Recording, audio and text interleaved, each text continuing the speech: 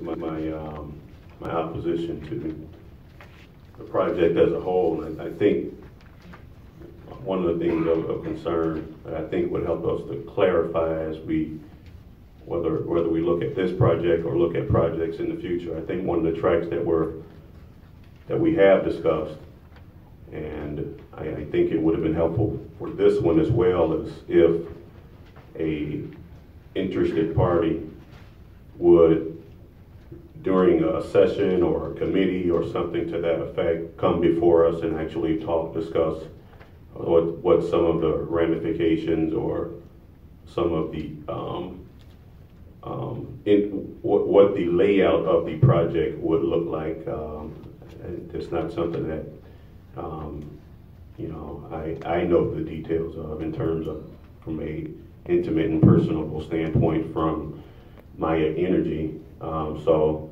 I think that that would be helpful structurally, uh, not limited to Maya Energy in the future, um, in the event that we go forth and do projects.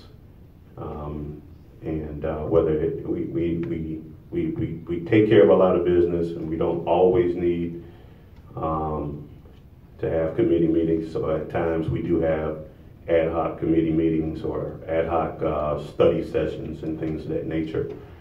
Um, but uh, as the Gary representative, I know that there are other better projects that are out there that could go in this particular area, whether it's whether it's uh, whether it was previously zoned as commercial uh, for this type of a um, entity, or whether it is being rezoned for whether it has to be rezoned for this type of a of a business entity.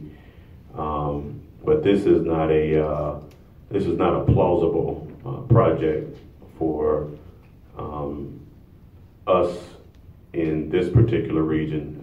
I, I know I've seen these type of projects in other places. I, I think if you ride past uh, what is that route uh, route 18 or 24 or 16 um, on the stretch between 65 and 41, you'll see something probably a little similar, but uh, this is in a, a much more non-secluded, uh, close residential area, and it's it's not a, uh, a preference for a project in that particular area.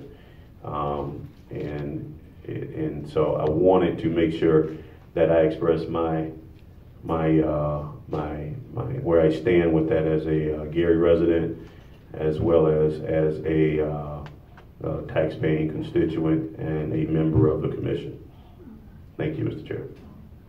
Anybody else? Yes, uh, I'd like to respond to uh, Commissioner uh, Levon Whitaker's uh, comments. Uh, I stand in favor of uh, the, uh, my proposition for mere fact because it's going to bring jobs to the city of Gary. 160, Oh. Hey, 170 Joe, let me finish, please. And then the fact that it's gonna bring over ten thousand to fifteen thousand dollars a month to the city of Gary, that so, so sorely that is needed for a lot of the operations that it has. And I see that, now as a general contractor, you know, uh, I, you know, I worked in the, uh, Lake County and, and at the Lake County jails. And, um, and I'm tired of seeing the young African Americans and Latinos in jail because they can't find a job and to support their families. So they have to go out there and do criminal things, and they get caught. The other thing I'm tired of is just just today in my office, uh, I had a young couple between the ages, and they might be between 18, maybe 23 years old, came to my office asking not only for a job, but they wanted to know if I can buy a TV set from them because they can't find a job to live in the city of Gary, and they have to move. I'm tired of seeing people in my community that don't, don't have jobs and opportunities. Maybe they may not have the skills or whatever, but this particular particular uh, uh, project would give them that opportunity. It's just not only, it, and for the mere fact this particular project is is going to be a pristine. It's not going to be a hazardous waste. Oh, yes, it It's not going to be, let me finish. It's not going to be a hazardous waste project. It's going to be, it's a lot of technology involved, We're recycling. It's going to save the city a lot of money and a lot of opportunity. And I'm also a resident of the city of Gary and a taxpayer too. So I'm supporting this because I definitely see the future for us where that's gonna help us get going. I don't see any great projects coming to the city of Gary, and we're losing, we're- right now, we're losing, uh, employment, we're, we're, we're losing people, our, our stores are closing down, I mean, banks are, are leaving us. I mean, we need, we need, uh, opportunities, and we, we need, um, uh, commercial opportunities, and, uh, that's gonna support our city and the community that we live in. That's my position. Thank you.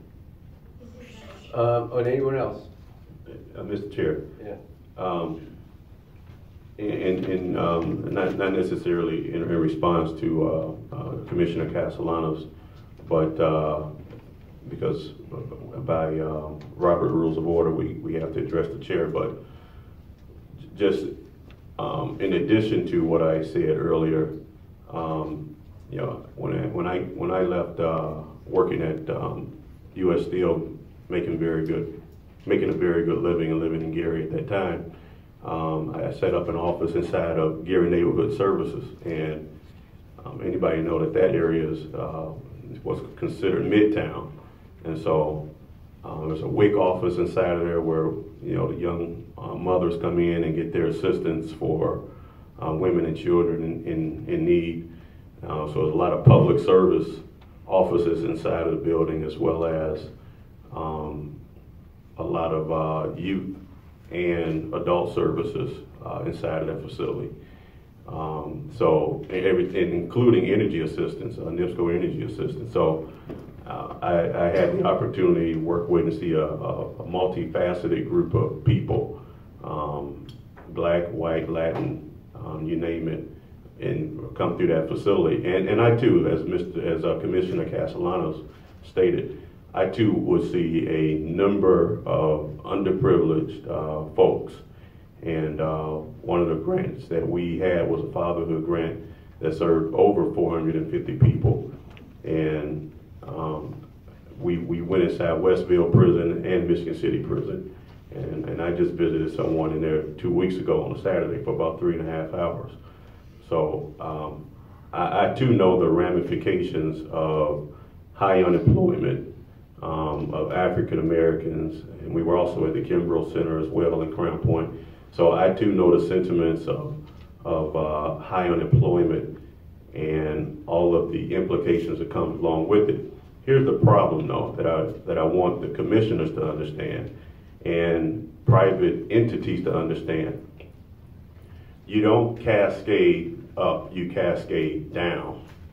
And in that, when you talk about what currently exists, sometimes you can go up depending on what you initiate from the beginning. So if you initiate a rebuilding process that looks like hazardous waste, you can't go up from that. Only place that you can go is down from that. All right? So, so, so as a result of that, you begin to set the tone for who will look at coming to your city, coming to your region to actually do business.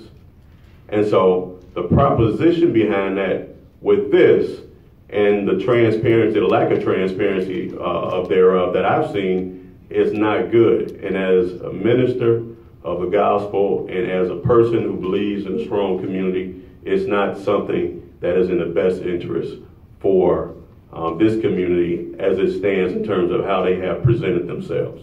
Thank you. Anybody else? There are none. Mrs. Lambert? Yes. Tom Vasecki, Yes. Eric Nitz, Yes. Dave Castellano, Yes. Ron Ware, Yes. Levon Whitaker, No. William Baker. Yes. All right, moving right along. Next up is statements for the floor. Uh, this